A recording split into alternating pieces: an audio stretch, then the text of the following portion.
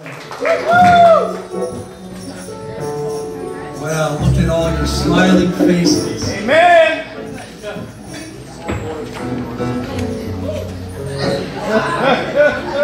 Worked in children's ministry, it works here too. How many new people do we have here today? I'm right here. Excellent. All right, beautiful. You're in for a great time today. Bringing out the snakes today. We had them shipped up from Tennessee, so we're really excited. Poison was last. What an incredible Sunday we had this past Sunday, amen. How many people were here? God just moved mightily. Dr. Craig did a fine job. The Lord moved over the house, and uh, I really want to help everyone who came, or thank everyone who helped with the baptism. Uh, we had a great time in the presence of the Lord, and we're now looking forward to the church picnic here on the campus. And so please be praying for great weather and invite a friend. There will be games, food, fun, and fellowship and frolicking. I had to throw the extra F in. You have to have fours. Okay, we're under discussing the character bents that many suffer with and their origin going back several thousands of years and how to break free from what's trying to break us from the destiny. And so I want to pray and ask God to move in this place. Lord God in heaven, hallowed be thy name. Thank you for the opportunity to speak to these fine folks. Forgive our sins. Fellowship with us as we look to your word in Jesus' name. I was in prayer the other day, and as I was working on this message, um, and can we close those doors? We're either, we're either freezing or cold. I don't know. We're trying to give everybody hypothermia or heat stroke. Need something to pray over to heal, so we start off small. Next week, the bubonic plague. We're going all the way. Um, and we talked about the origins of our character bents that many people suffer with. And so, as I was praying and as I was seeking God, God asked me a question. He said, Ask the people do you want to break or do you want to break through? You know, now I want you to think about that. Do you want to break or do you want to break through? You know, now this is something you have to be very careful when you answer because God hears you, um, contrary to popular belief. So I want you to stop and think about this because a breakthrough releases the person from what is breaking them, or a break just gives you a hiatus from the process towards holiness. And I think that's important that you understand that there is a process going on, and we're going to get more into that this Sunday. But I want you to turn with me to Jude 1:14. For those of you who are not sure what that is, that's just before Revelation, which is the end of the book. A little bitty book that you can't exclude. It's Jude. Revelation, and then just make a hard left.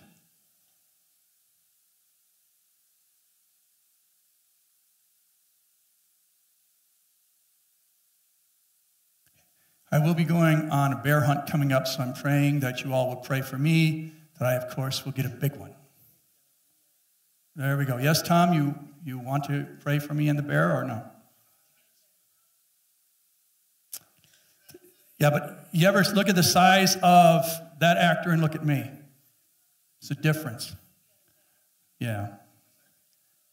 He's from California. They don't kill much. They eat vegetables. They stab corn. It's just it's totally different than what I do. So God bless them.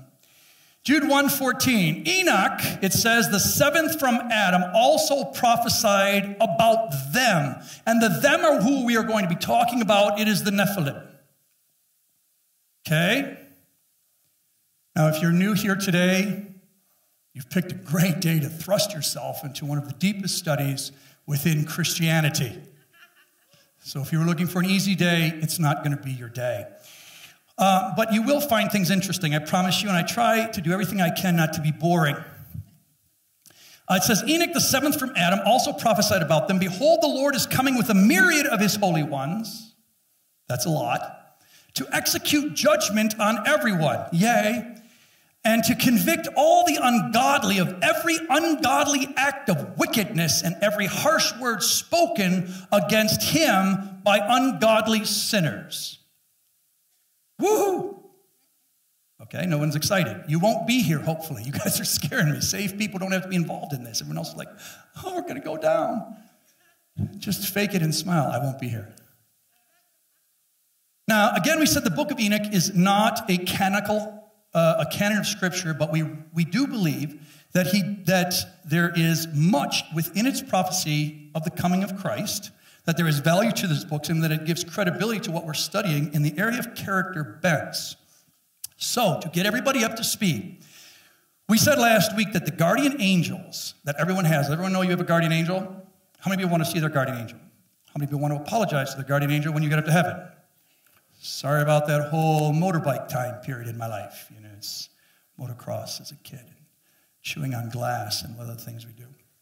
Anyways, um, and these guardian angels interbred with human beings. The scripture says in Genesis 6. So if you're questioning me on this, that you've never heard it before, read Genesis 6. Um, and it creates a mutant race of people. And they're referred to in Genesis 3:15 if you want to turn with me there. Never go to a church where they don't back it up with scripture. Genesis 3:15. This diet is great but not good for my ensemble. I will look to keep my pants on here. Genesis 3:15 where God tells Satan, "I will put enmity or cause a war between you and the woman." And all the women said, "Yeah." Some of the women are not so sure. Like, mm, eh, mm.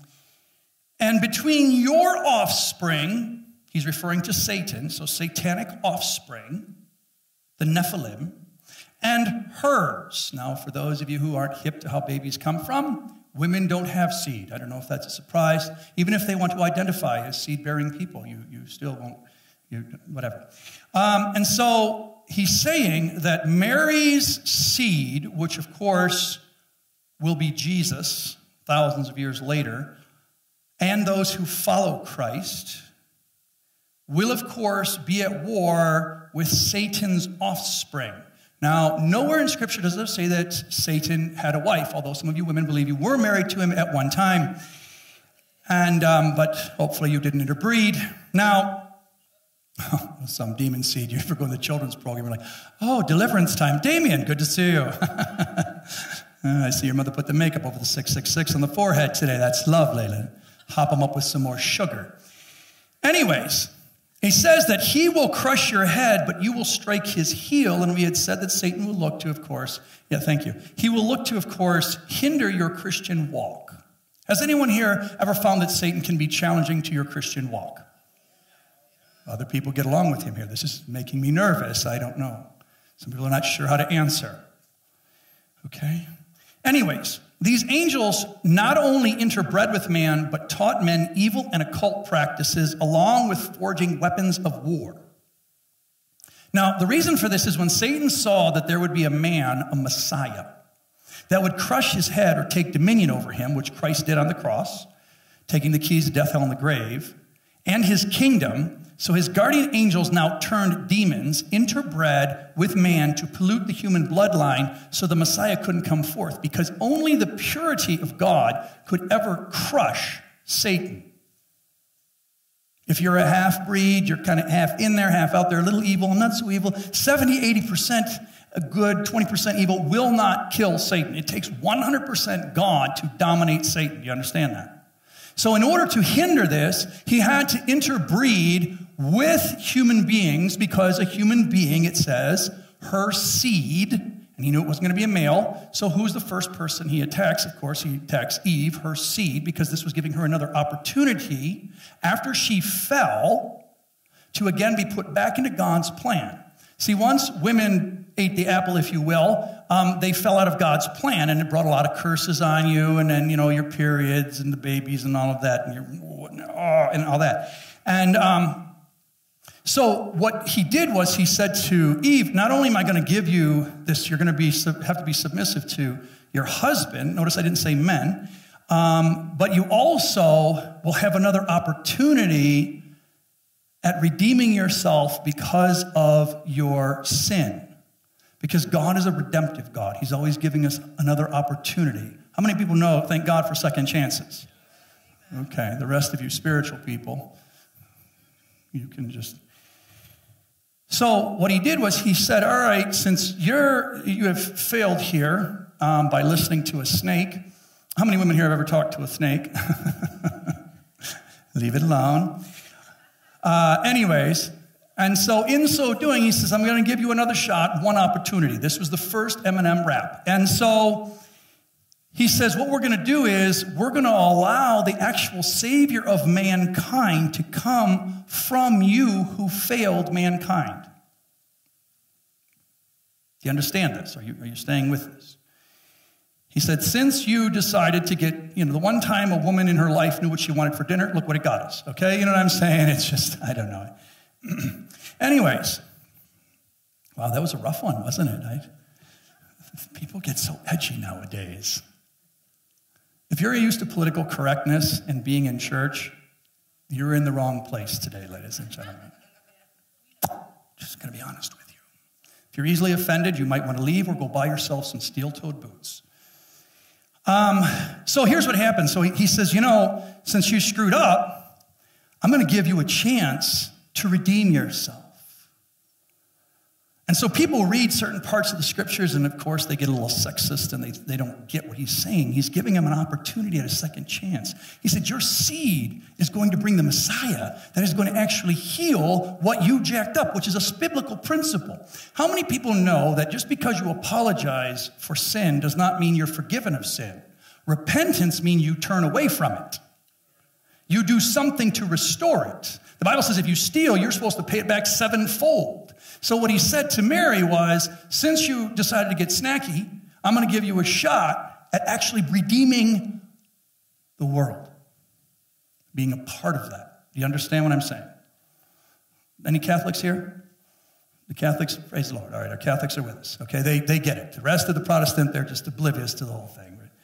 We'll stay right here. Now, so here's the reason for all this. When he saw this was going to happen, and the guardian angels, then he said to his, to his fellow demons, I want you to interbreed with these chicks so that we can destroy the opportunity for a Messiah to come forth from human beings. We're going to jack up God's plan. Satan is always trying to jack up God's plan. God's always like five steps ahead of him. Okay? So, he said, let's jack up the purity of the bloodline. Now, we're referring to, and please understand, the spirit world. Don't get it twisted. First of all, in the spirit world, there isn't a female in this room. Not because of how you identify either. You are all sons of God. There are no daughters of God. Look in Scripture. And the reason for that has nothing to do with your genitalia, it has to do with your bloodline and Mary's seed. Remember, Mary had seed. Women can't have seed, this is male.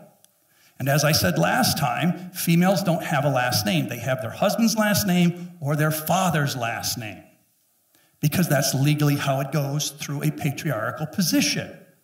Okay? That is not because God is sexist or anything like that. It's because of seed. It has to do with birth. Because Eventually, that birth through Messiah leads us to being born again. Okay? Now, for those of you who are hung up on the whole female thing and think that's sexist, remember the church, which Jesus is coming back for, he is the groom and we are the bride. So, all of us men are technically brides.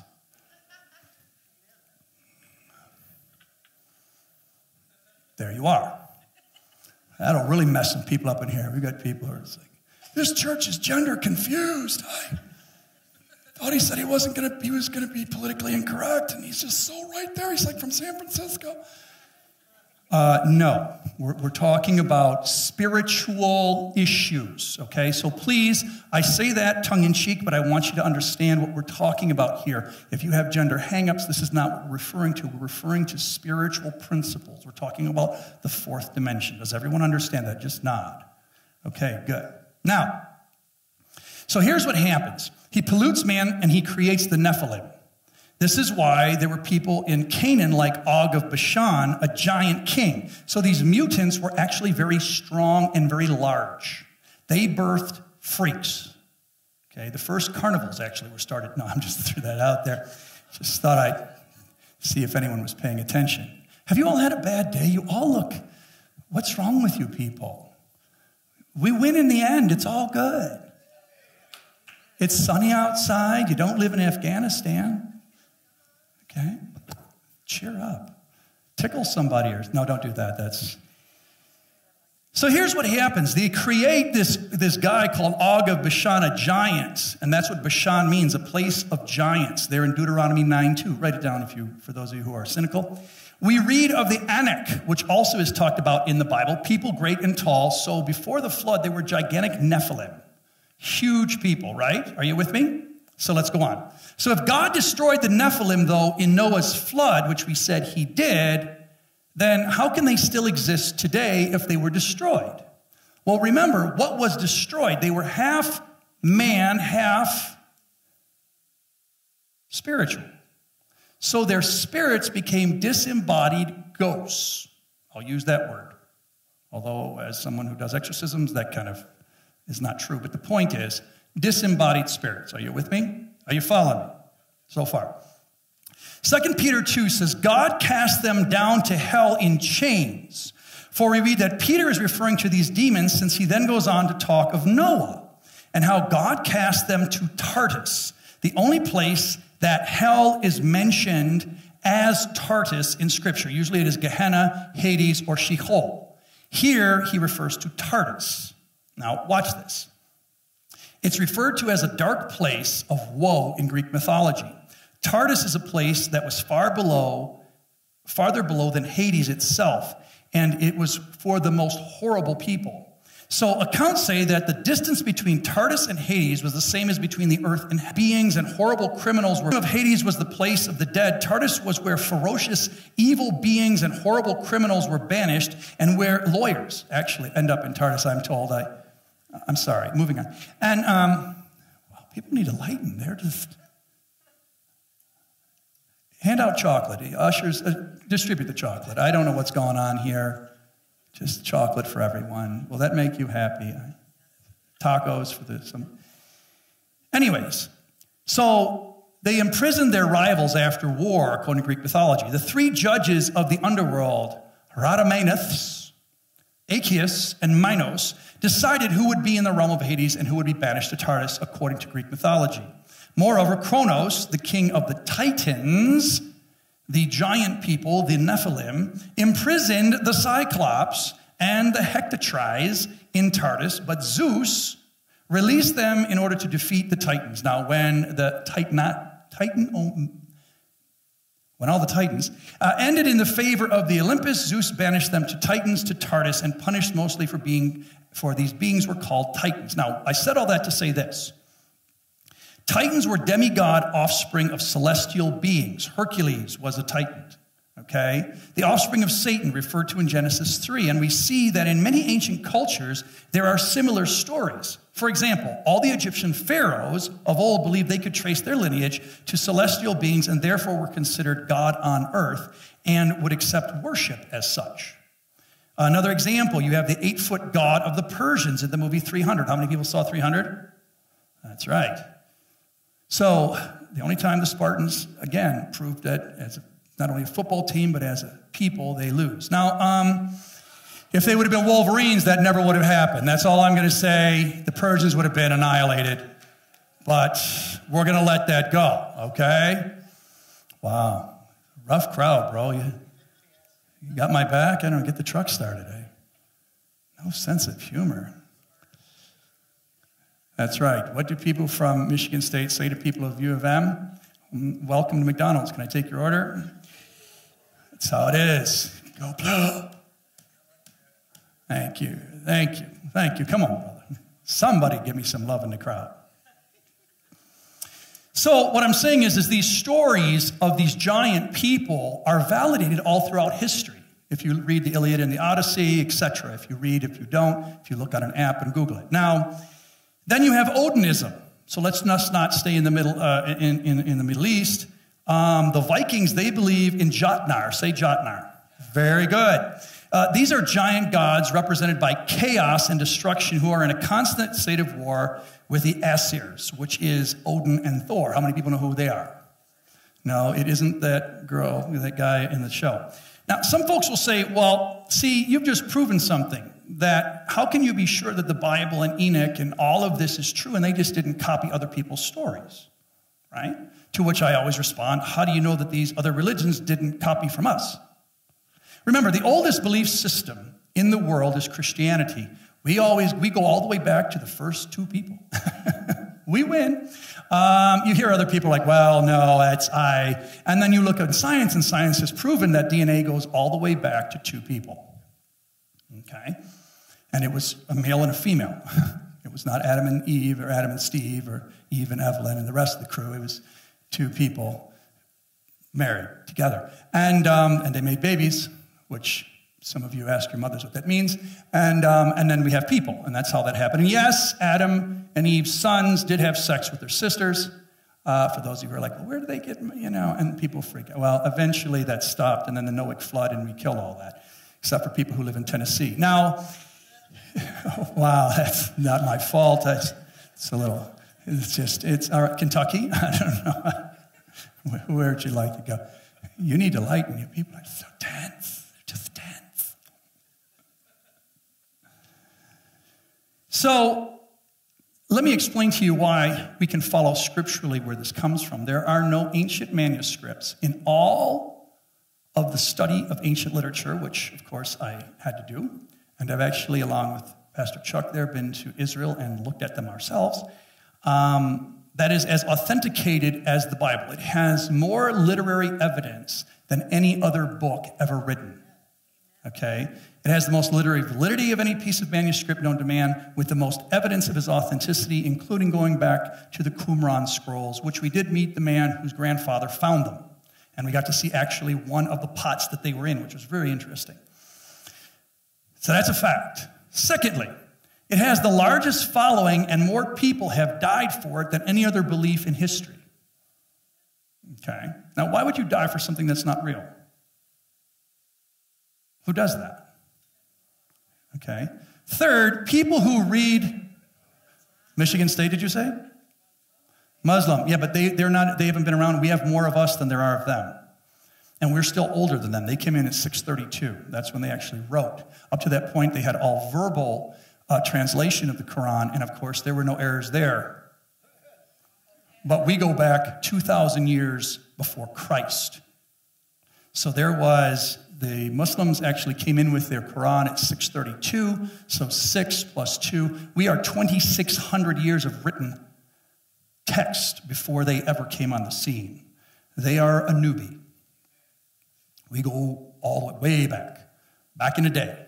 Okay? We are the ultimate OG of God. Now, also, we have more people that have, of course, experienced miracles and life changing experience through that. And later on today, some of you here are going to get to experience that. Oh, yeah. But even after all this, it still does take faith to believe, and God gives that ability to all who desire to know Him. See, a lot of people come into Christianity under the auspices that God owes you an explanation, as if you could understand it if He could even explain it to you. That is an assumption. Job tried that and he said, Okay, I will answer you when you tell me when do I feed all of the whales in all of the oceans and which one, of course, are allergic to shrimp. Do you understand the whole concept of the universe? Do you understand when things happen? Do you know when to change a season? Do you know when to have a Indian summer just before you, of course? Well, that you can't say that's not politically. A Native American uh, summer. I've got to be. It's sermons are going to get really long trying to stay politically correct nowadays. Um, do you know when and how many times a bee's wings need to flutter in order for it to elevate? Do you, do you keep track of all of this? No, I barely remember where I put my keys. So sometimes when we try to challenge God, and not that God's against questions, and please, if you have any questions today at the Bible study, feel free. But there is a hubris and arrogance that you don't come at God with because He will meet you at the level you want to meet Him at. Okay? And that could be dangerous when your arms are too short to box with God. Can I get an amen from somebody who knows what I'm talking about? So, a man convinced against his will is of the same opinion still. Christianity is not a mental assent, a philosophical belief, a religion, but it is actually an encounter with a living God. And this is the problem. There are many people in the church today, especially in America, who believe they're Christians, and they're not. What they are are fans, devotees, aficionados, historians of a person who they believe lived possibly. They like his ideas. They ascribe to some of his philosophical positions because they meld in with their thought process. But that doesn't mean that they're Christians. A Christian is someone who has a supernatural encounter with God. Salvation is supernatural. Jesus came from the fourth dimension. We pray, Thy kingdom come, Thy will be done on earth, kingdom, fourth, uh, as it is in heaven. If you have not had a supernatural experience, then I would question if you're saved. It's just that simple. Because it's not a religion, it's a love. And if you've never experienced that type of love, tonight is your opportunity. I have it on good, I'm telling you, like I'm 100% sure that God is ready to meet some people here today. And if I'm wrong, there is a money back guarantee. But if I'm right, perhaps you should pay me. Just things I think about. I don't know. I, you can't sell that stuff. All right. Let's get back.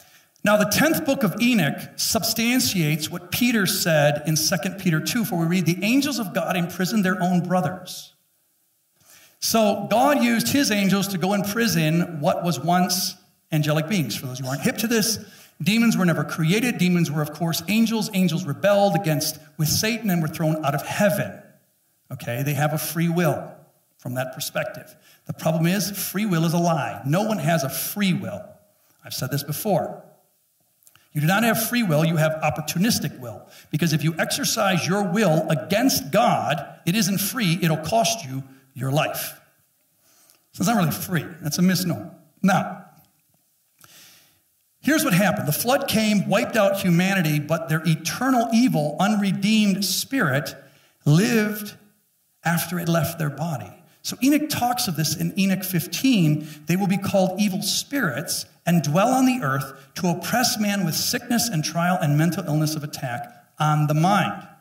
Now you say, well, where in the Bible is that talked of? Because I know many of you are good Baptists. Um, it doesn't say that. There is nowhere in Scripture that says that the Nephilim, after they were killed, became disembodied spirits. Okay? But the principle is talked about. So turn with me to Matthew 12, 43. Yes, sir. Yes, sir.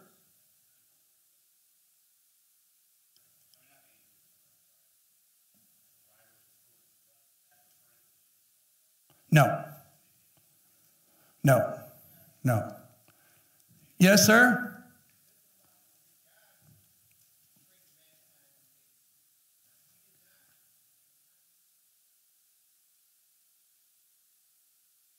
That's right.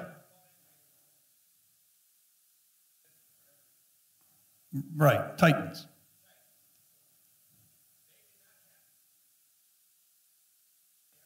They were spirit. They did not, they were not trichotomous. We are trichotomous because we're made in the image of God, body, soul, and spirit. Okay? They would be, from the idea of a spirit, a soul. In the Bible, you will hear those things become interchangeable, but if you understand the context of what they're speaking, they are not interchangeable. Your soul is your mind, your will, and your emotions. Your spirit comes from God. Okay? That's why when you're saved, your spirit becomes saved. It is the eternal. So what happens here is, is that their spirit and their soul were intertwined in such a fashion that they became evil spirits. But this is a term referring to, of course, the soul, because your soul is actually spiritual, because that's what you're going to take with you to heaven. You don't take this with you. Okay? It's who you are inside. You understand that? Are, are, you, are you with? Yes, yes, John.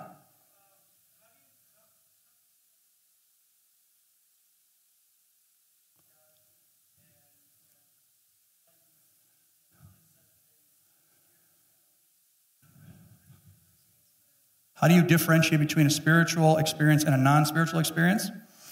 A spiritual experience is so specific that there is no doubt that you had it. God is so big, He doesn't go up there and go, Well, I hope you understand what I'm saying. Has anyone found God to have a problem with communicating to you in a way that you understand? now, a few people here are grinning. They're like, No, no, actually, sometimes a little too clear. Didn't have to get all crazy like that. Was a little too specific. Top roll. yes.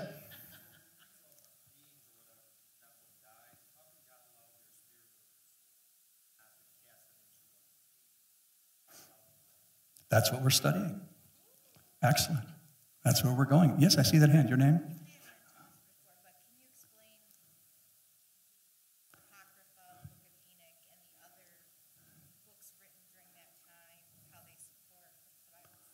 Well, that's what we're doing. The, the, the principles of Enoch, Enoch is a non canonical book, as I said. It is apocryphal in writing, like the book of Maccabees. Um, because it does not carry within it the scarlet thread of redemption. From Genesis to Revelation, the whole entire, all of them, speak of Jesus in one form or another. The Apocryphal is more of a historical book, but doesn't necessarily deal with the teaching or the principle of Jesus, but what happened to people who were following El Elohim. Of course, the first name God ever referred to himself to an Arab. Because remember, when God spoke to Abraham, he was from Ur of the Chaldees, he was a Chaldean. So he didn't speak Hebrew.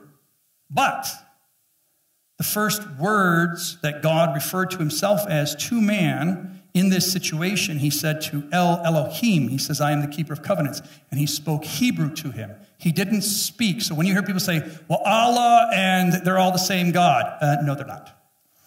Allah is the moon god that the Muslims, remember 632, recycled from their pagan days. And of course, by recycling these things, they then set up, if you go to Mecca in Medina, uh, in Saudi Arabia, as I've said, there's this big stone. How many people have seen the picture of the big stone with the black uh, curtain over it? You know why they covered it? Because there's all the pagan inscripts on it. And if you look down at the base, there's this large silver thing that actually looks like a vagina and the, the whole fertility. Do you, do you understand all of that? And inside of it is this piece of rock, which is, they believe, came from the moon, and it's called Allah. So they believe God is a rock. Now, to us, they say, yeah, but you have the cross, so you believe God is a cross. No, we believe he sat on a cross or hung on a cross. You believe in the pagan philosophy that you recycled. Now, in fairness, the Christian faith, especially during Roman Catholicism, did recycle. When Constantine uh, came in on the scene and he was going to rock the then known world with his, of course, uh, theophanies, experience, uh, he saw a cross, he was fighting the Muslims, and people were like, see, the Crusaders did such evil, the same as the Muslims. Ah, ah, ah. No. The Crusades lasted 400 years. Why were there crusaders? Because for 400 years, the Muslims had been attacking the Jews. And so eventually the Pope said, go over there and protect all the stuff with the Jesus stuff that we believe in. And while you're there, kill a bunch of people. And then when they started killing, there's a funny thing about war. It's very hard to stay moral when you're killing and you're doing the same exact thing your enemy is. And so what we found psychologically with human beings is, of course, um, they have to be trained to walk a very thin line. This is why a lot of our soldiers come back with PTSD and etc. because they have to do some very heinous things. That's war. War is hell. That's why you don't want to go to war. That's why when Jesus comes, there will be no war. So what happens is, is they started to, of course, get so far away from their commands, being all the way out there in Israel, um, and they were becoming rather bloodthirsty, etc. They were tired of getting killed. You see your guy, your buddies get hacked up, so you start to hack everybody else up. I had a cousin did the same thing. He was in Vietnam. They caught his buddy, they disemboweled him, cut off his genitalia, shoved them in his mouth. They caught the guys who did it and tortured them for 12 hours. That is common. Okay, I didn't say it's right. I didn't say all of our American soldiers did that. I didn't say any of those things. I'm saying that when the experience of war gets to a certain level of crescendo, and there's that much death and that much concentration of death and satanic behavior that it can affect you. Does everyone understand what I just said? I am not anti soldier. I support our troops 100% and proud to be American. Now, so what happens is this the reason that they attacked the Muslims was because the Muslims were attacking the Jews. So for 300 years, this went down. No doubt. During this time, Constantine decides to go and win a war. Constantine goes over there, and Constantine then makes it law that everyone has to become a Catholic. Okay. Now, some of the people were pagan. So he said, Well, how can I get them to ascribe to the Christian belief without it being too radical away from their pagan beliefs? So they found similarities and he blended them within the Christian faith. For example, now if you get easily offended, practice forgiveness. Um, the Christmas tree is a totally pagan thing. Okay, if you look in Isaiah 11, who has Isaiah 11? Put up Isaiah 11. I'm sorry, Jeremiah 11. Put the Jeremiah 10. Jeremiah 11, 10. I'll, I'll show you how this all goes down. Because my job, if you're here and you're a new person, is to offend you and educate you. Thank you. We're all, we like to practice forgiveness here, and so I offend you, and then you have to practice forgiveness, and it makes you closer to the Lord. It's just how we do it. Jeremiah 11:10. What is it? Oh, I'm sorry, go ahead.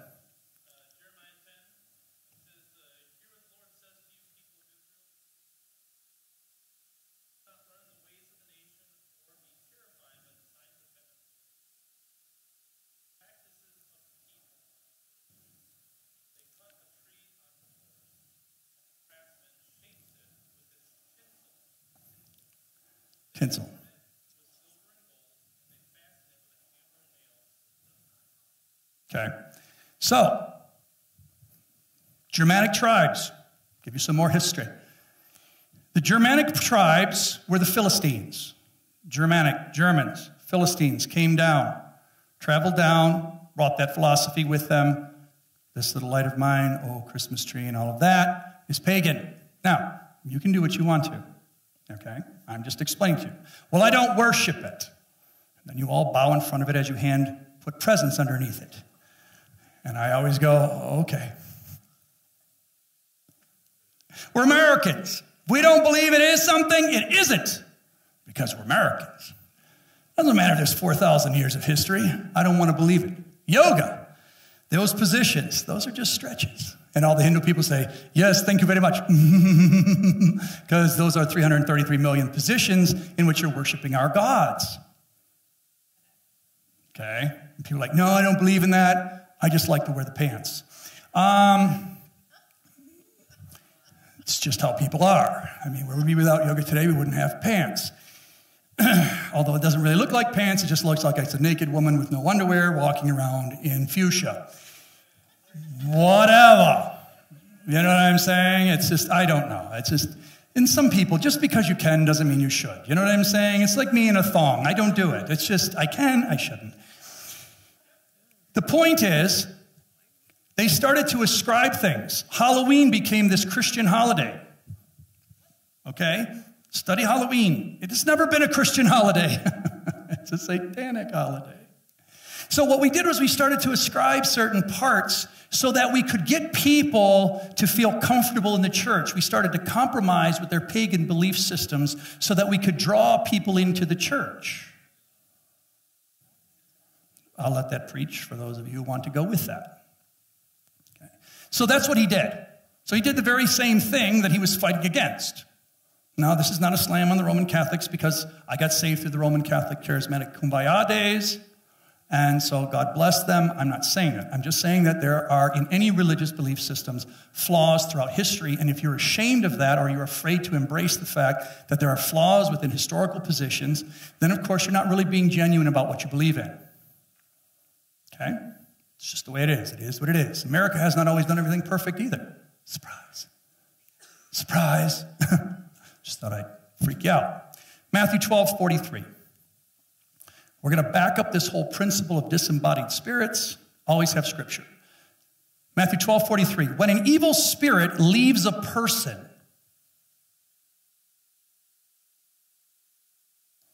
hello?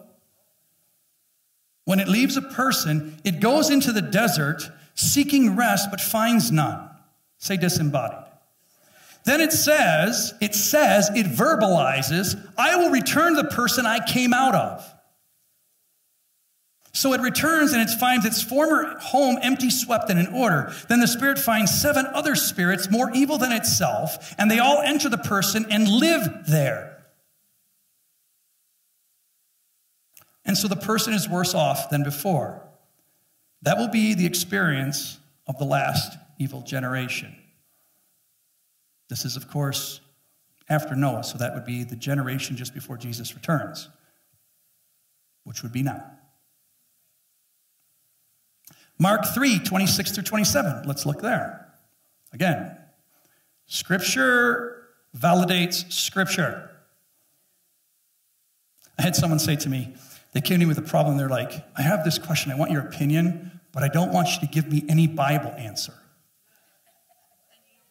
I just want you to give me your opinion.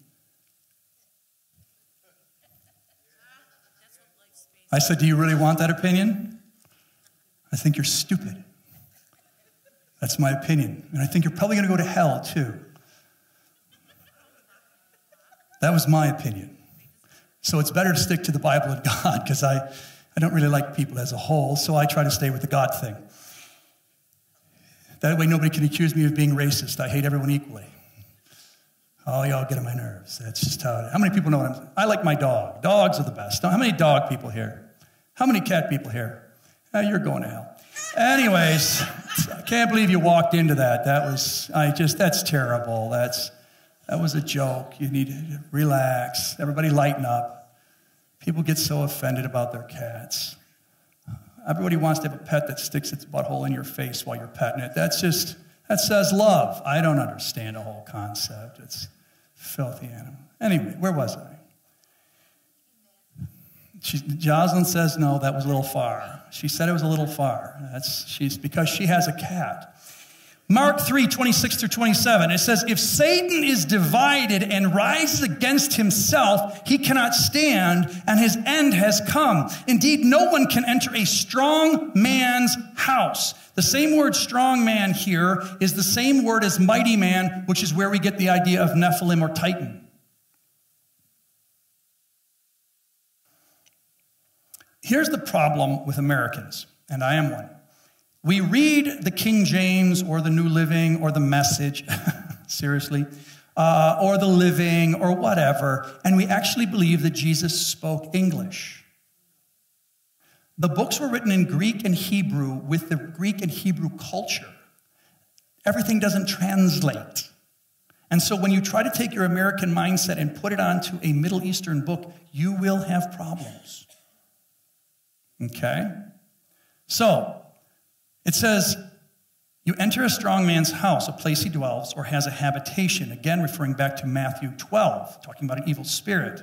If you're going to steal his possessions or free someone, unless he first ties up the strong man, then he can plunder the house, or you can, of course, free someone. This is why when we do exorcisms here or deliverance or whatever word you're comfortable with, we bind the strong man in their life because when I'm doing an exorcism or deliverance or whatever word you're comfortable with or uncomfortable with, one of the first things we do is we bind the strong man who is the cheese or the boss over that person.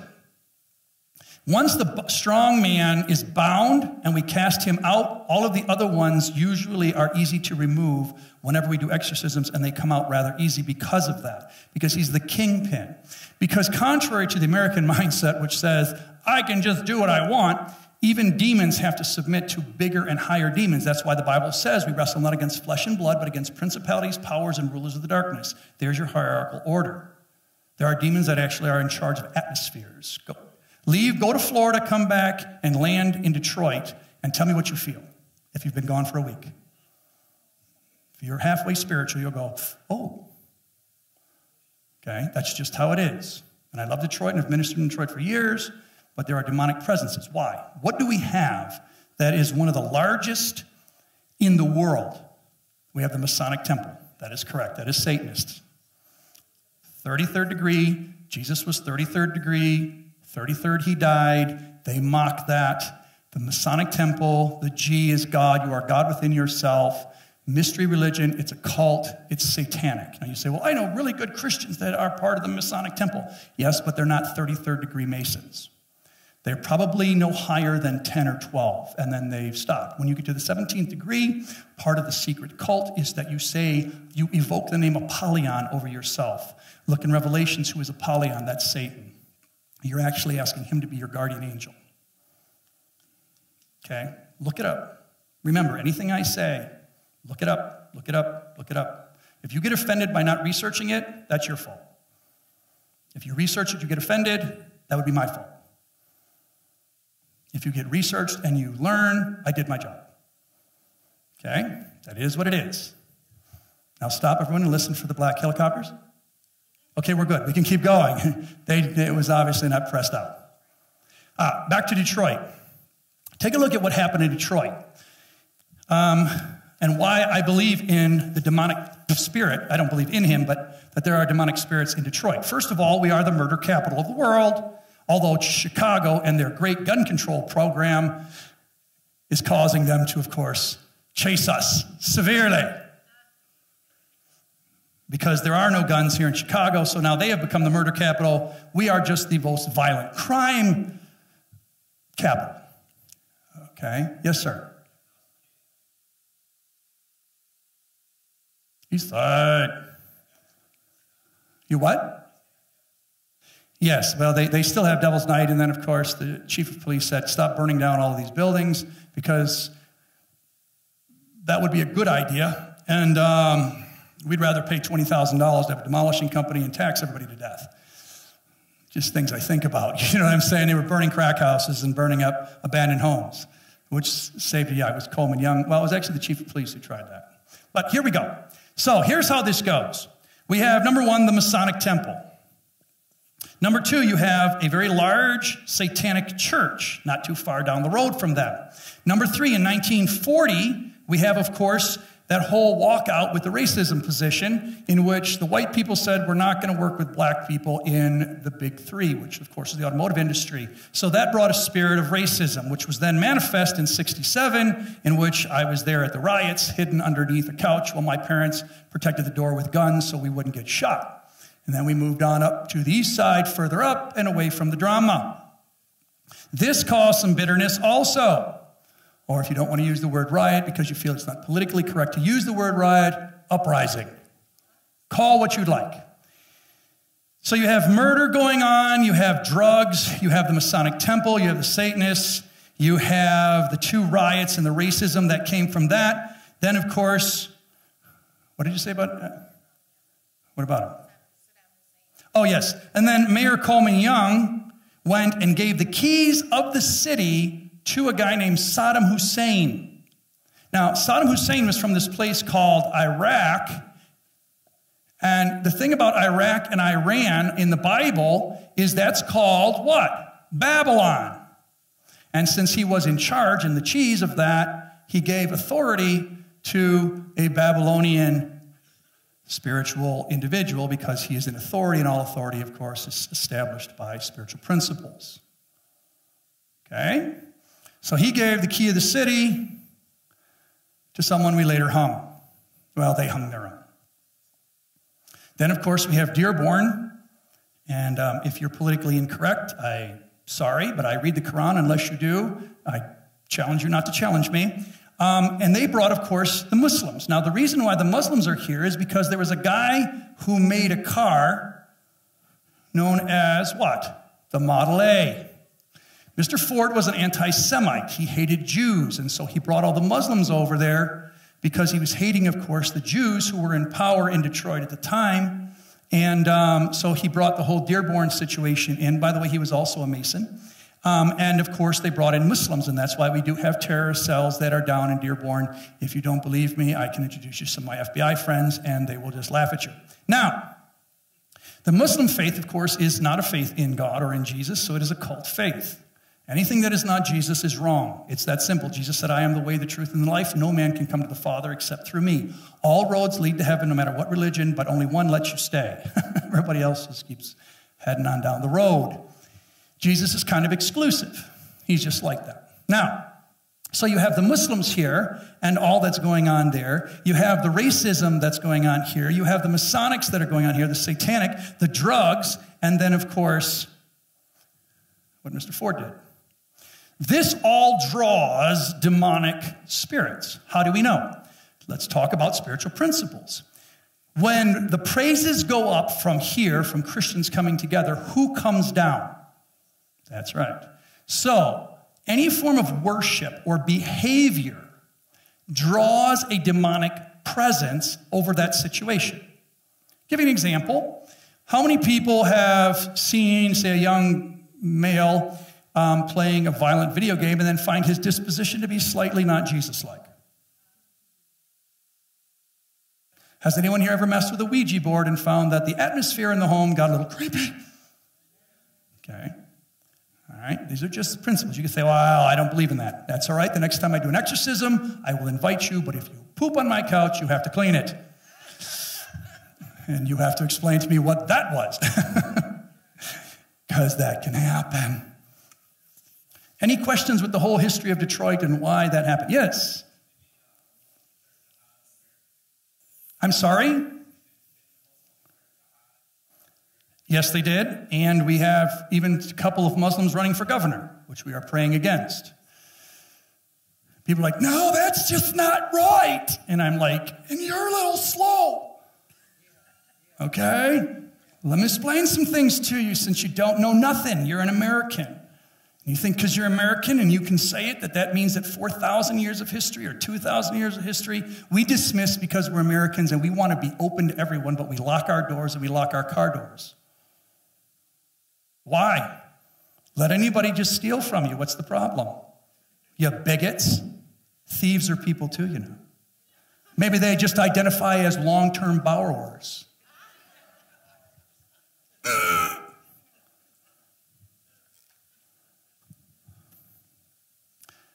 The only religion that says we are looking for world domination, world domination, and we Americans go, well, come on in. God bless your heart. You come on over here. I know this is crazy, but back there was a number years ago, and this used to mean something. A couple of towers fell. Now, you can say that's an inside job if you'd like to, that's fine. The Muslims still, I have friends who lived in Dearborn, said that many of the Muslims went into the streets. There were thousands in the streets jumping up and down when that happened. They were quite excited. And if you go during the Muslim festival, I don't recommend you do, but some people there um, actually follow a form of Muslim where they punish themselves. There are two forms. Well, there's lots of forms, but two main ones. Uh, there is Sunni and Shia. And I believe it is the Sunni who will actually cut themselves, or they will take their kids and they will cut their kid's head to show remorse. Okay? So that's why you have the black um, turban and the white turban. Again, anything I say, research it. Don't research it. Okay? Anything I say. Okay? Don't ever take anything anybody says point blank unless you watch CNN and NBC and NBC oh, and Fox. Let's not be. Come on now. I mean, don't play me. So, um, you know, I'm not saying that all Muslims are here to destroy us. I would never say that. I have ate with Muslim people and talked with Muslim people, and I don't have a problem with that. What I'm trying to tell you is that people who truly follow the Muslim faith are out to dominate this country because they say so. Not because I say so, because they say so. Okay? That's just facts. Sorry if that hurts your American view of life. But that is reality, and I read the Quran. Get yourself one, read it. Go to an imam, and he'll lie to you. Why? Because in the belief, there's a thing called tashheed which means that a Muslim can lie to anyone who is not a Muslim because you don't deserve the truth. And this is why they have broken all of their treaties. Because they can. Because you don't deserve the truth. Now, again, does that mean that we should hate all Muslims? No, we pray for them that they come to Jesus. Does that mean we should not help them and love them and care for them? And when they come here legally, um, embrace them and invite them to church and feed them if they need it. And if all of those things. We're not supposed to not be Jesus, but at the same time, we do not want to assimilate into their religious view because there is no difference between their religion and their politic. Only in America do we do that. Okay? Yes?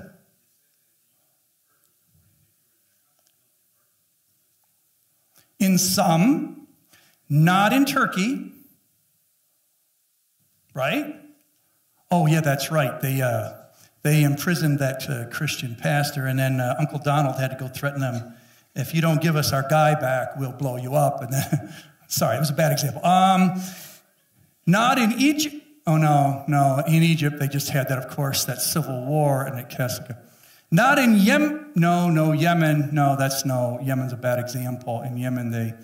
Um, in India, no, I just watched them burn a 14 year old girl to death uh, with gas. And, uh, no.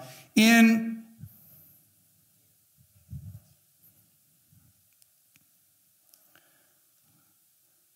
Moving on. People need Jesus, no matter what religion they follow. They need Jesus. Don't believe the lie, kids. Don't drink the Kool Aid. Don't take the red pill. Be like Neo, take the blue pill and enter into the real world.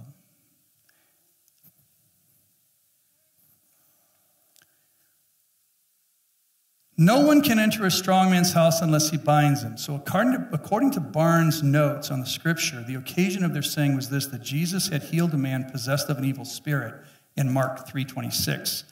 And so Jesus was addressing the idea of binding a strong man or a mighty man, a Nephilim. Okay? Now remember, Ephesians 6.12 says that we wrestle not against flesh and blood, but against principalities and powers. And then according to John 4.4, you are of God, little children, and have overcome them. Who's the them? Satan's seed, because he who is in you is greater than he that is in the world. But he tells you that you're not greater, and that's why you have the problems that you do with your Christianity because you believe the devil. Why? If it goes contrary to this Bible, why do you believe it? Why? The Bible, basic instructions before leaving earth. God even gave us a manual. Because that's why there's more women in the church than men, because women will read it and men are like, Oh, I don't know. Just, I don't know. We'll figure it out. So men are manual. That's the first thing we throw away when you open a box, you know. Gone, we'll figure it out. We're dudes. We're Americans. And then, yes, and then the women have to get out of the garbage and remind us that there's a warranty you have to send in. And that would mean we have to use words instead of grunts. And that's never any good. So we just ignore that stuff. So let's get on with our study. That was just the intro. No. We battle demonic spirits. Matthew 11, 12 says, The kingdom of heaven suffereth violence, where we are from, but the violent take it by force. Notice it doesn't say by ignorance, pacificity, or political correctness, or putting your head in the sand. Now, how can he attack us? Proverbs 26. I'm going to show you how Satan attacks your life. It says, As the bird by wandering, 26, 2, as a bird by wandering, as a swallow by flying, so a curse without a cause shall not come alight. Now in Genesis 9:20 it says, "Now Noah began to be a farmer." I'm going to show you. Remember they were all cast down. Okay? They were cast down. And yet, how did they come back? Who gave them access to this world? Well, who gave Satan access to the garden? Adam. Man brings demons into communities, into their lives, into their family, mankind. Okay? That's how it works. We draw it. Okay? Now watch. So here's what happened with Noah. Noah was a farmer and he planted a vineyard. This was before Ernest and Julio, the original Mogen David. I know. Then he drank the wine and was drunk and became uncovered in his tent. And Ham, the father of the Canaanites, saw the nakedness of his father and he told his two brothers outside. But Shem and Japheth took a garment laid it on both of their shoulders, went backwards, and covered the nakedness of their father. Their faces were turned away, and they did not see their father's nakedness. Now, so what? I mean, I got to be honest with you. My brother and I, along with my pops, we walked around our tidy whities all day. You know what I'm saying? That's just, that's just how it was. You know what I'm saying? see dad naked or uh, another guy naked. We didn't really care. This was before you had to be concerned about things like that. Um, so we, you know, why make a big deal? I saw you saw your dad naked. You know, that's that just shows you that you know that's what you'll look like in 30 years. And so you can get depressed or whatever you want to do with that. From the back, I look like my whole family. From the front, I look like my dad. So what I found is it was no big deal, right? So so what? Well, here's the problem. There's more to this. Look what happened. Noah awoke from his wine, knew that his younger what his younger son had done to him. How would he know? When someone looks at you, can you always tell if you're asleep and passed out and drunk?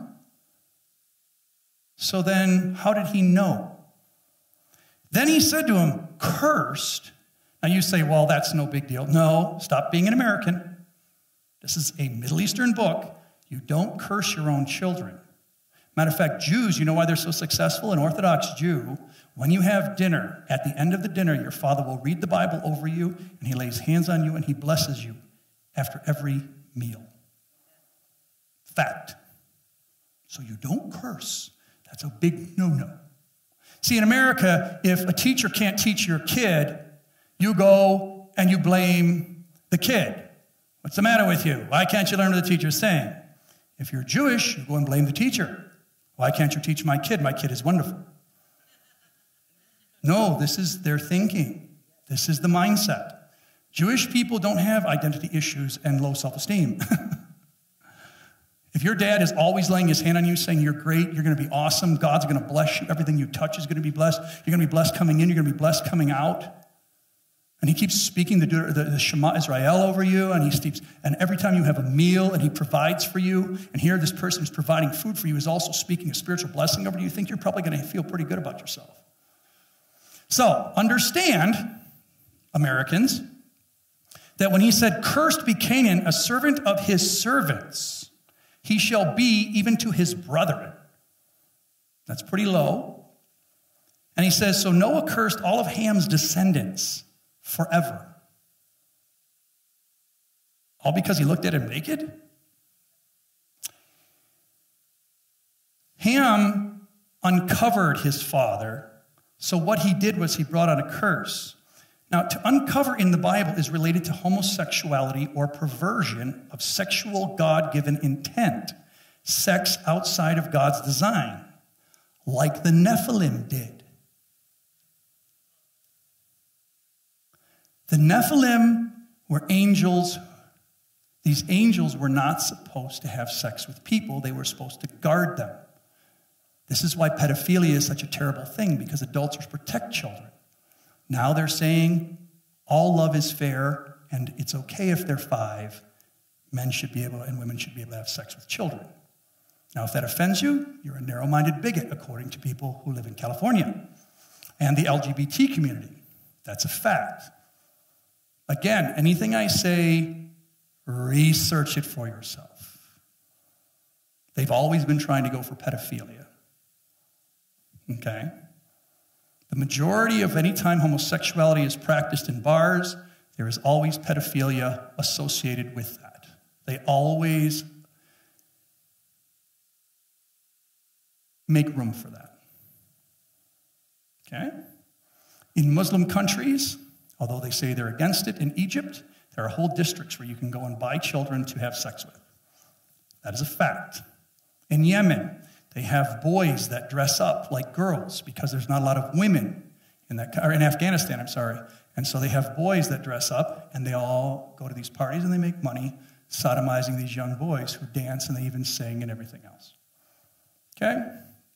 So, when you have sex outside of God's intention, you draw a demonic influence. Because when men and women come together,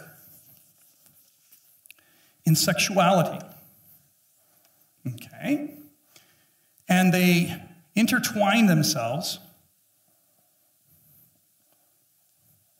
The Bible says the two become what? One flesh. Do they actually become one flesh? What is he referring to? They're becoming one. Her last name is the same as his last name. One. Okay. We call ourselves Christians. Jesus is the Christ. When you're born again, we technically have communion, which is a form of the honeymoon night in which virginity is lost, if you will. Blood is shed when they had a woman has a hymen, and the blood, the communion, but we use Jesus' blood because ours would have been impure.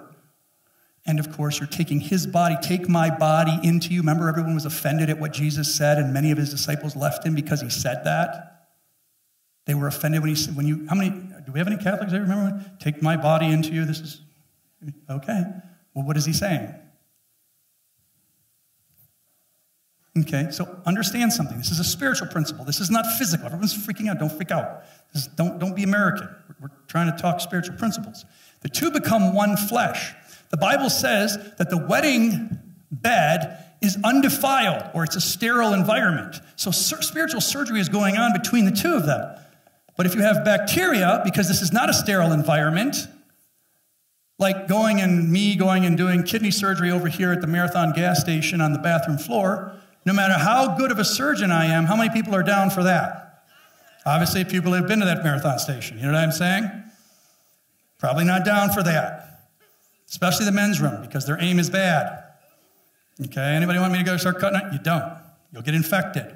Infected with what? This type of behavior draws a spiritual experience. Okay? If it is done under the auspices of the marriage bed unto the Lord, this is actually a form of praise unto God. Look it up. Read the middle of the Bible called the Song of Solomon. Okay? This behavior draws God's blessing on the union. John will explain that all, all this stuff to you later. Ask him, he'll explain to you where birds and bees are. Yeah, get back with John, later. It draws God's anointing when it is done in love under God's auspices. Does any adults have a problem with that statement? Okay. If you don't do this the way God says, what do you draw then? Think. Proof. When two people come together outside of God's plan, okay, what usually happens to your first sexual experience? And please don't give me some outlier. The majority of the time, it ends up in what? Divorce. 70% of the people who have sex before marriage today, 80% if they live together, end up in divorce. Satan goes about to destroy relationships. He goes out like a seek, he goes out to seek and devour okay, to destroy relationships, especially relationships that represent husband and wife. Does anyone know why? Because Jesus is coming back for his bride, feminine genitive, and he is the groom, male genitive. So when a husband and wife come together, they are actually declaring what is going to happen in the end times when Jesus comes back for his church. Every wedding is a declaration of Jesus coming back. So it is magnifying God. So that's why Satan looks to destroy marriages and families, binary families. Okay? Why? Because they declare what is the purpose of marriage. Adam and Eve, and Adam is called the first, or Jesus was called the second Adam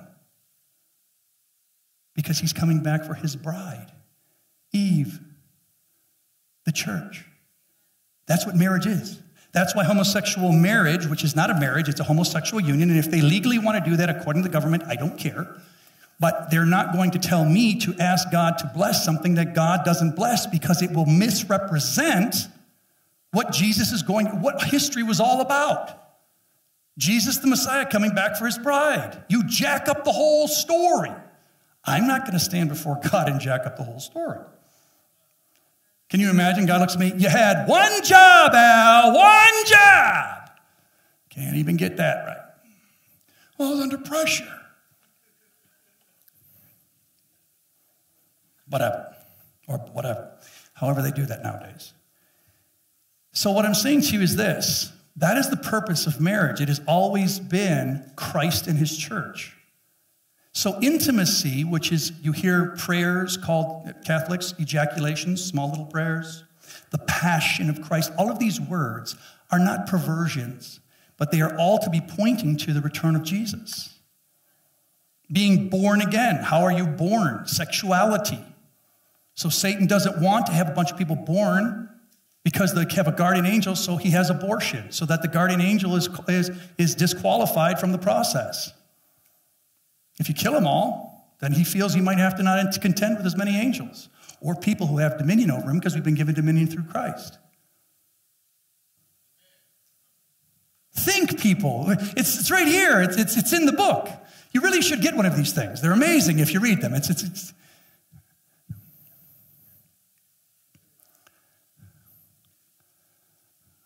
Satan attacks sexuality to make it perverse because then we won't look at this from the purity of what it's supposed to be. Jesus, the groom, will come for his bride. He won't come for one Christian, he'll come for his church. So, for those of you who are not in church regularly and claim to be Christians, you may not make it. He's not coming back for people who said, I agree with you, but I'm not going to do it your way. He's funny like that. God's so arrogant, he thinks he's God. he is. Your opinions, your feelings mean nothing. This is what gets you in through a relationship with Jesus Christ. There are no errors. I have looked, I'm 51 years old. I have read this through 53 times, and I have studied it in Hebrew and in Greek and have all of the interpretations except the message because that's ridiculous in the contemporary version because Jesus didn't talk like that. I studied this book looking for errors purposely, never found them. Never. I dare anyone to challenge me on this. I'll take on anybody you want. Matter of fact, go get a professor. I love atheist guys. Bring them by. I won't even argue with them. I just shove my gun in their mouth. Go, oh my God! See, I won. It's didn't even have to argue. It'll sound more like because the gun's in their mouth. But the point is, you'll get it. You know. Think about it. The church has to go back to reading the Bible and thinking and listening to what the Bible says. It is not open to your feelings, your conjecture, your idea of right and wrong. The Bible is not the good book. The good book says if a guy punches you in the face, yeah, you could punch him back. Jesus didn't say that. Don't claim you're a Christian if you don't believe this 100%. You're not going to make it. The Bible says so.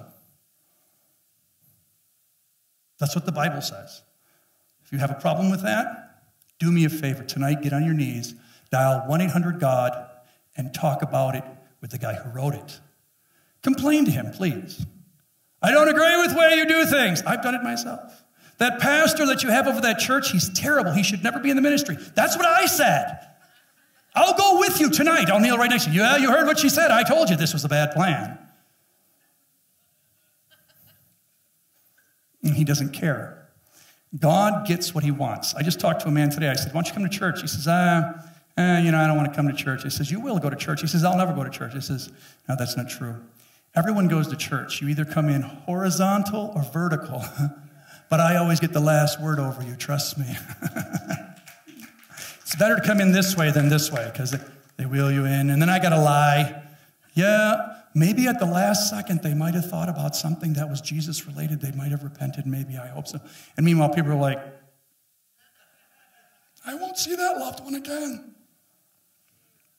And they want me to lie.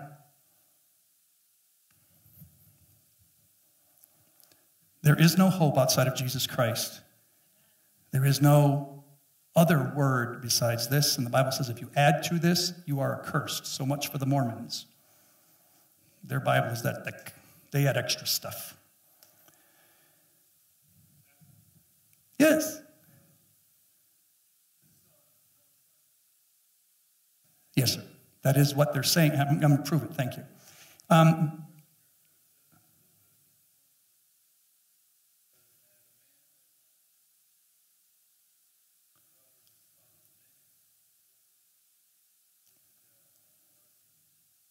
Matter of fact, Leviticus 18:6 is where I'm going. It says, None of you shall approach anyone who is near of kin to him to uncover his nakedness. That is the same exact word for what Ham did to Noah. It says, The nakedness of your father or the nakedness of your mother you shall not uncover. Same word. And if you read on the verse, it goes into detail of everyone you're not supposed to have sex with.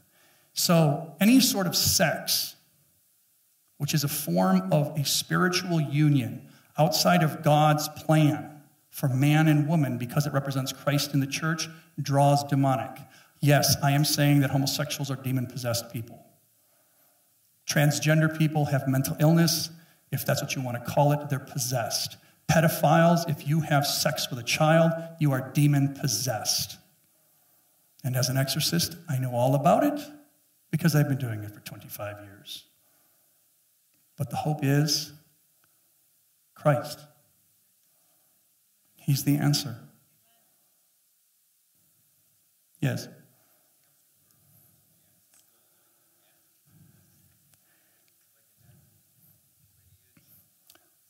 Yes. Race? You know, I never got into that. I have some people that try to stretch it and say Ham was black and he came from Cain and he was marked. And so Cain was marked, and so it's black people, but then all black people would have to be gay. Nope, nope, that one isn't. That one is, is definitely not. He he, he, he knew where I was headed immediately, too. I had to pick the darkest one in the room. There he is. Now there's the second dark. How are we doing on the homosexual front there, Brother Chris? Nope, he's not down for it either. So that kind of shoots that in the pants. So I, I, never bought that into that whole idea, you know, well, black people are cursed and everything else. And that's why slavery came about, is because they were under a curse. And I have heard other people say that because Africa, when it was first introduced, remember, who was, what was the color of the individual who carried the cross for Christ? Does anyone know? Cyrene. Yeah. So he was what? He, he was brown. Okay. And he started later, did you know that he started a church? Are we aware of this? Do you know that you have a massive Africa which is a continent, not a country. Please don't offend Sudanese people and call them Kenyan because that's bigotry. But when God came, uh, one of the oldest churches in the world is the Coptic Church in Egypt, which is Africa. Um, and in so doing, they're the first and the originals, and they're the real deal. So before everybody gets all white people, I tell people this all the time we didn't come in on the scene in the Bible until the last 25% when Paul went off to Macedonia. We were rather insignificant. The point is, why would God build the oldest church based on the Coptic church, which is, of course, brown people? To prove, I think, that theory that's not true. They're not cursed. Okay. He actually was, the, he was there to carry. And people say, see, that was slavery.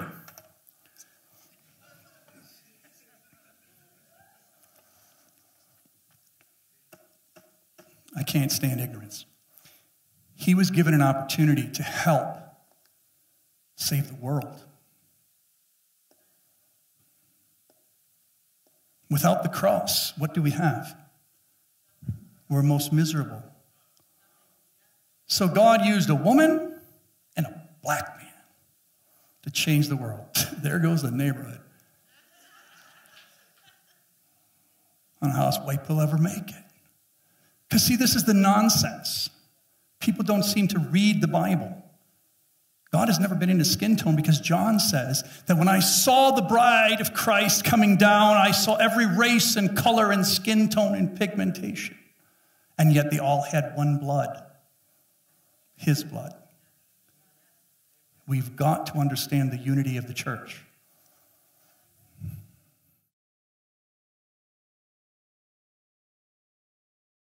Well, we're way out there today, buddy, so I don't think so.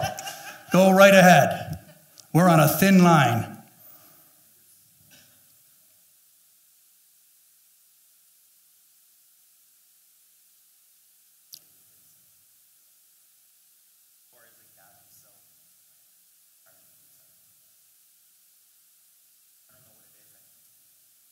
I will tell you. I will tell you.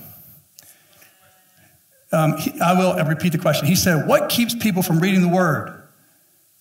Great pastors like myself who tell them all they need to know. You laugh, but think about it. How many people actually read their Bible and how many people just go to church?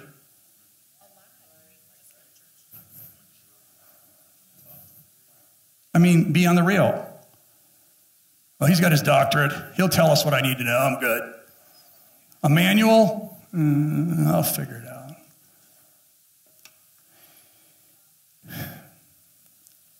People say knowledge is power. Knowledge is not power. Wisdom is power. But you can't get wisdom without knowledge to know him in the fellowship of his suffering, Paul said. So that means knowing at a deeper level than mental assent. You actually personalize it if you suffer while you're studying it. okay? Because now you've got skin in the game. If you just read it and it's just about somebody else, it makes no difference. But if you have to personalize it, then it holds you accountable, and nobody wants to be held accountable. See, people come to me when they're first saved and they're like, I want to be a Christian. I want to be a better Christian. And so I say, Well, you're going to have to stop doing this in your life, and, and God's going to have to deal with that in your life, and you have a call on that life, and there's parts of your life that's going to have to change. And they're like, Well, what do you know? You're not perfect.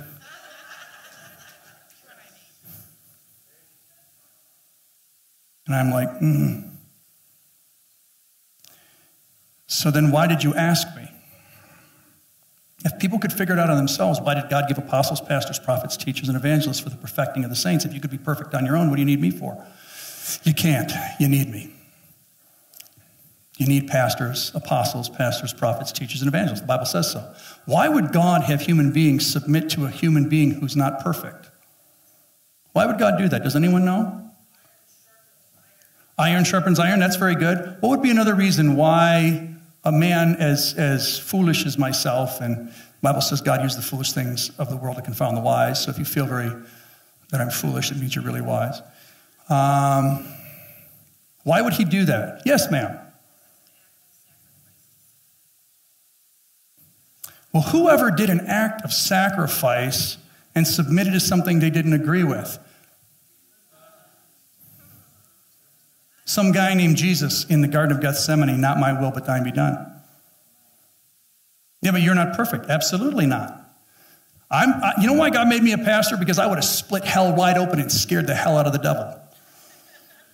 That's how bad I was. And God was like, oh, son, um, the only way you're going to make it by my grace is for me to put you in a situation where you have to be about me all the time, 24 hours a day, seven days a week or you will never make it. And so, in his mercy, he said, I'm going to give you the easiest job on the planet. You only work two days a week. That's what they sold me in the brochure, but I'm going to, I'm going to sue somebody on that. I... So, not only was sexuality, it wasn't homosexuality that just drew the sin, it was sex outside of God's intended plan. Because God said, Do not have sex with your dad.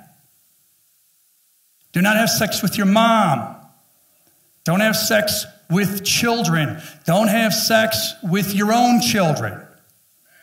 Don't do that because it is not what I want. It will draw demonic Nephilimic spirits that will mutate from children. And when you're born under these type of curses, you birth a bastard child, which means they are not blessed by the blessing of God. They're under a curse that has to be broken, which Jesus can do.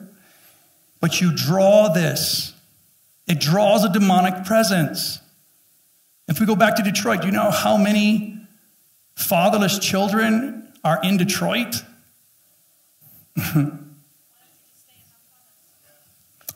We're fighting that spirit here too. And please, if you're a single mother, uh, don't get all, we have Jesus, he can heal all. What we're saying is, is that that behavior draws it draws. Behavior. If you give somebody the middle finger, have you ever found that it never draws a God bless you, good to see you, hope to see you in church? Let me pray for you. God bless your heart. They never do that. What does it usually bring? A rather visceral response that is not godly. Behavior draws demonic influence. It also draws spiritual influence. Worshiping God draws Jesus, worshiping Satan draws Satan. And one of the highest forms of worship, God's intention, was Christ and his church, the bride. And so if you do this and you're sending a false message, you're going to draw a false God, Satan.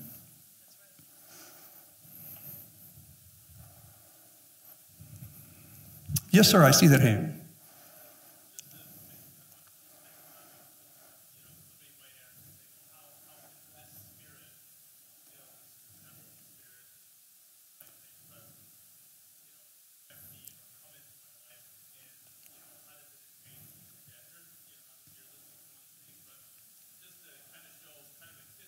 Brother Derek, you can kind of set that up.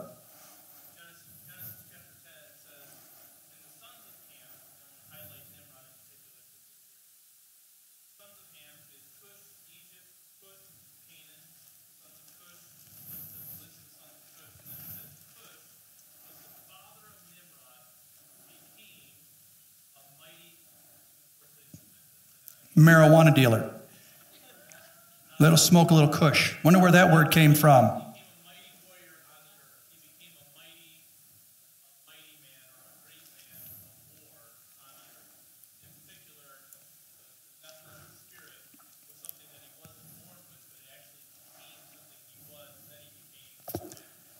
So, by partaking in something, you can also draw spirits. You say, prove that. No problem.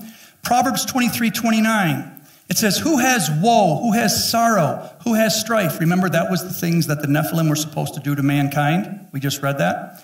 It says, Who has complaints? Who has needless bruises? Who has bloodshot eyes? Those who linger over wine and who go to the samples of bowl of mixed wine, that's harder booze. It says, Don't gaze at wine when it's red, when it sparkles in the cup, when it goes down smoothly.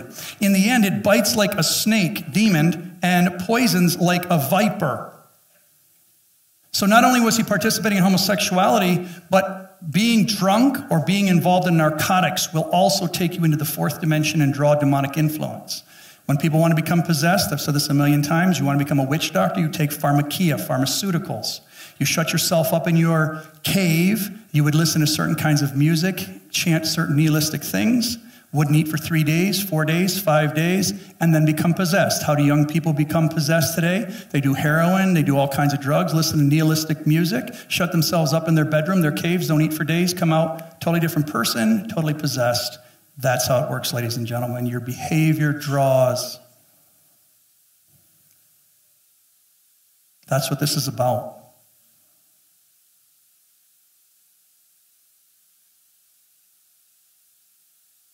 Jesus says, the wine of the Spirit, not the wine of man. Jesus says, I'm coming back for my bride, not my other groom. Do you, do you understand?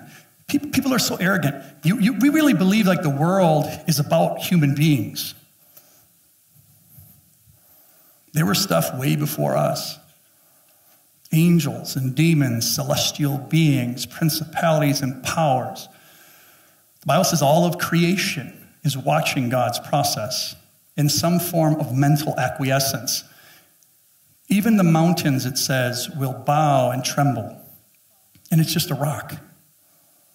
Even anything that is created will always respond to God.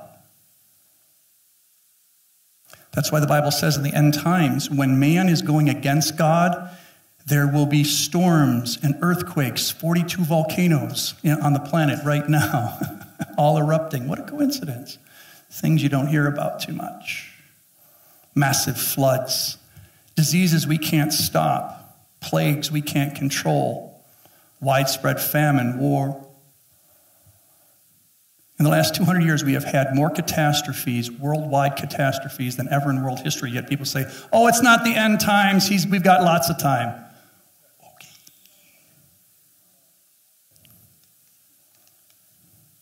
Wake up, ladies and gentlemen. The church is not paying attention. And it's very important that we do. Because the Bible says Jesus is coming back who are looking for his appearing not who are listening to cute little messages about how you're a victim and just love your neighbor and I'm okay and you're okay. That's nonsense. Know your enemy. Satan is real. He's looking to destroy you. It is your job on this mission impossible, Tom Cruise, to do the impossible because with God all things are possible. Any questions? Is anyone offended? Ah, finally, thank you, Chuck. I have one. That was really hard. I worked very hard. I thought I'd at least get one. Everyone else like, no, it was great. You know where liars go, don't you? Michigan State. But the point is, that's okay. It's go blue or go home. But the point is, yes, I see that hand in the back, ma'am. Someone has a question? Oh, I'm sorry.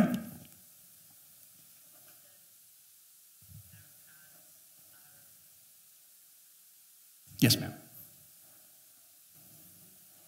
Misused. Misused narcotics. Misused narcotics. Remember, misuse sex does not bring on demons if it's done properly. Okay? Okay?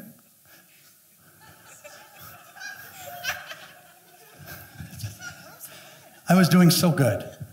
I, I had him, and then, and then I'm going to do deliverance tonight. Just lock the doors. We're going to have, we're going to be here. Well, get the oil, guys. I'm going to need a gallon. I Guess some of you have had some bad experiences. I'm sorry to hear that. Maybe it was the wine.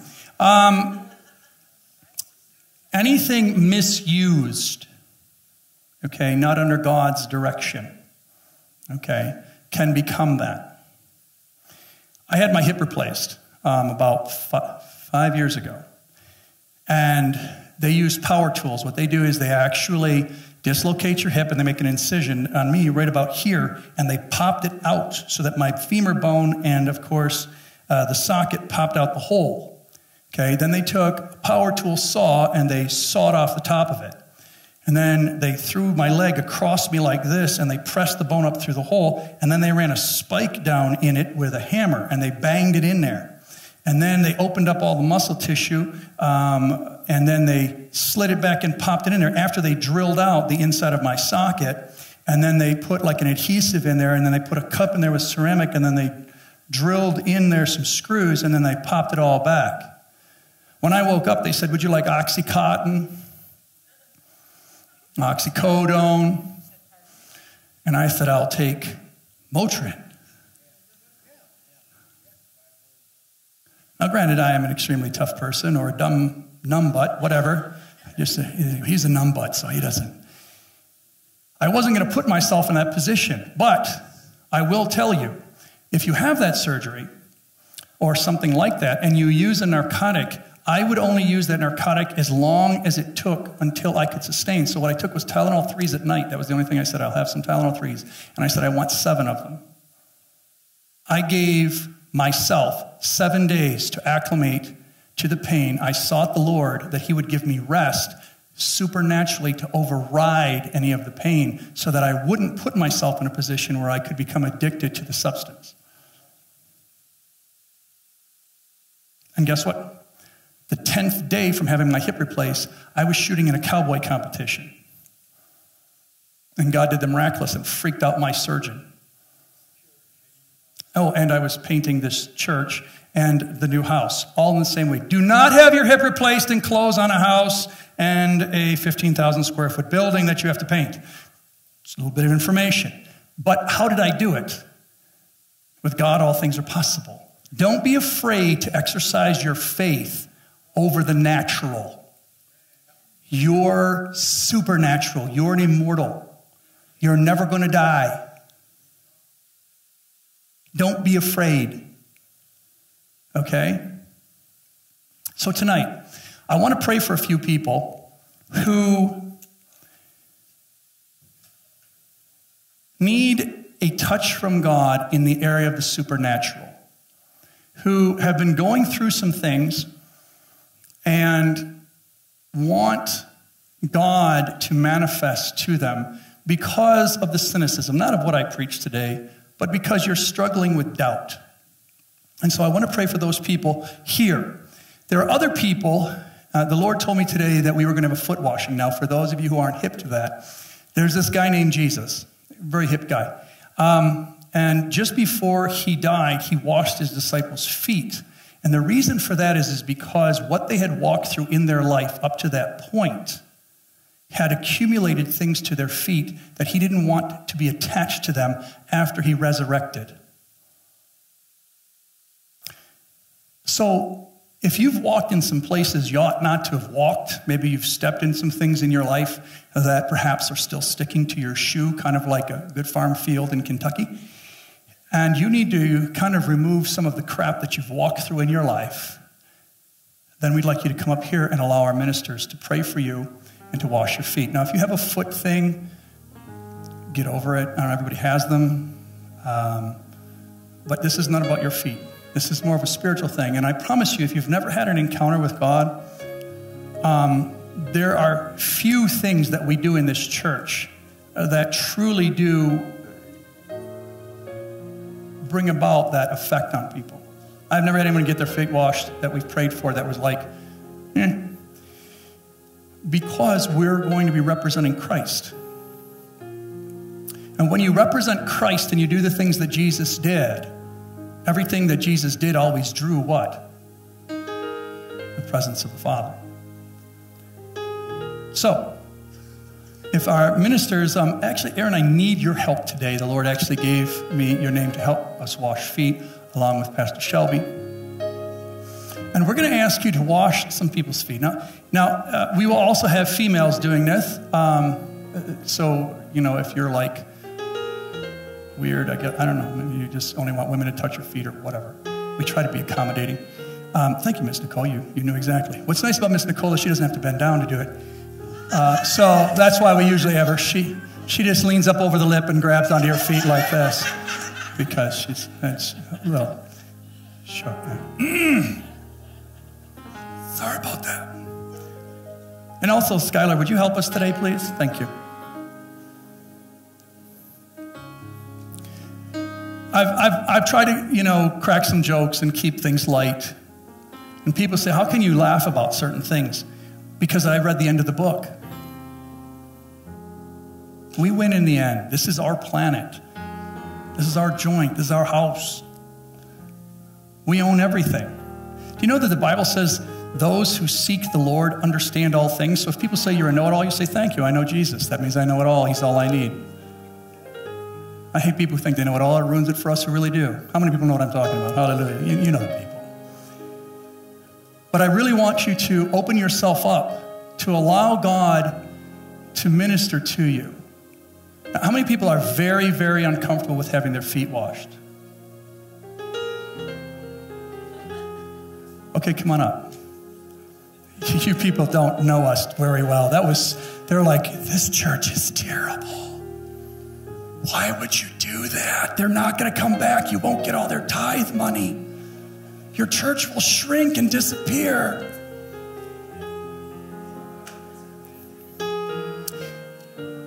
I want you to hear me. If you never come back again and I only get one shot to allow God to touch your heart, I did my job. I didn't get into this ministry to draw people to myself or to make money. You learn that right off the bat when you go into ministry. Mm. I want to hear something from God that says, Thank you for touching my child and allowing me to touch them through you. That's our payoff. So I'll ask again and, and I'll phrase it a little differently. How many people here is God telling you, even though you're arguing with them right now, I am not going up there? that know that you're supposed to come up here. Now, this is where things get fun. Since no one raised their hands, you're saying, hey, you can't move in the prophetic supernaturally and know who's supposed to come up here. I can come and get you. I lift weights purposely so that I can come and get you. It's, we have a stick in the back? No, I'm just kidding. I want you to do it because you know you're supposed to. I want you to do it because you know that you, you need to experience Christ touching you. And you've walked some places that you've maybe been ashamed of, or maybe you've been some things, you've done some things you shouldn't. Yeah, we're not into blame.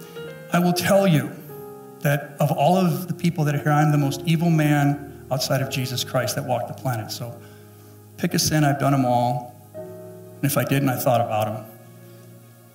I've been a lesbian for years, so I've even dealt, dealt with homosexuality. It's just, I bounce right into it. It's, we're not here to judge you, we're here to help you. A church should be a hospital for people to come and get healed in a no judgment zone.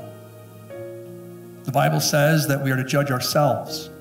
And so, if the Lord is convicting you right now to come forward to have your feet washed, I'd like you to do that now. I know it's pretty adult, it's pretty bold, but I'd ask you to do that now.